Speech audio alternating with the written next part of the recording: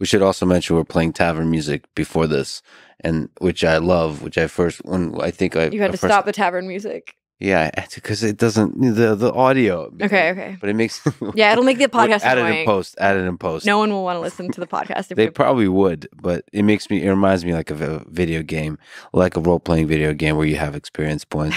There's something really joyful about wandering places like Elder Scrolls, like Skyrim, just exploring uh, these landscapes in another world, and then you get experience points, and you can work on different skills, and somehow you progress in life.